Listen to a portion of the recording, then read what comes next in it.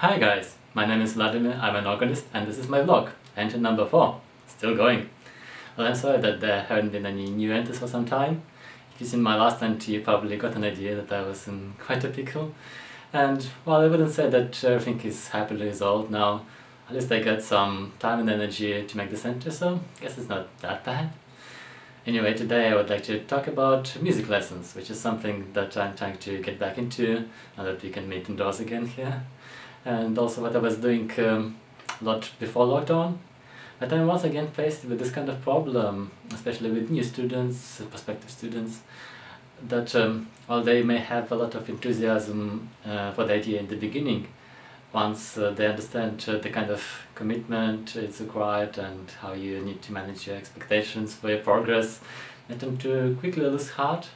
And I think that is further exacerbated by all these new online apps and online courses springing up during lockdown promising you to teach you to quickly learn music, uh, to play any songs you like, to make your own music, play from you and so on. So what do you think uh, is my opinion on all this?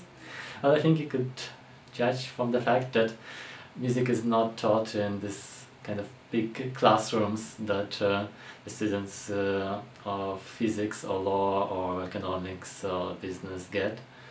And um, well, I guess this is because music just draws on so many different attributes, um, characteristics, abilities uh, that uh, I don't think it's really possible to have a one-size-fits-all course uh, that will develop one's musical ability, you know. I mean, we all have our own strengths and weaknesses and uh, you need someone experienced to be able to work with that, to guide you on any pitfalls you might have and if you do get stuck to get you out.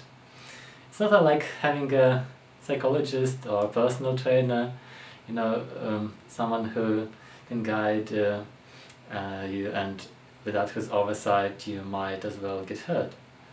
And well, while I do not discount uh, all these online tools completely, you still must understand that um, you get um, a very specific set of knowledge there.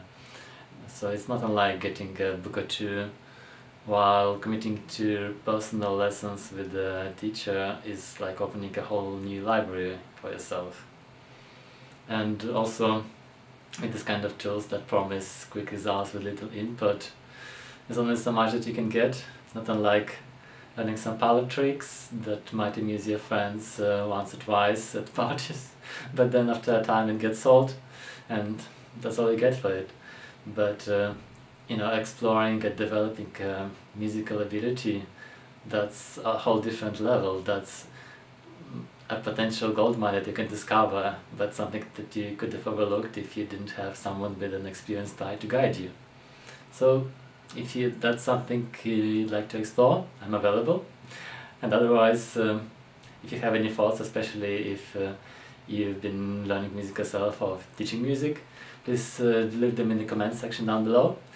If you liked what I was talking about, please like this video and subscribe to the channel. And otherwise, I'm looking forward to speak to you again in my next entry.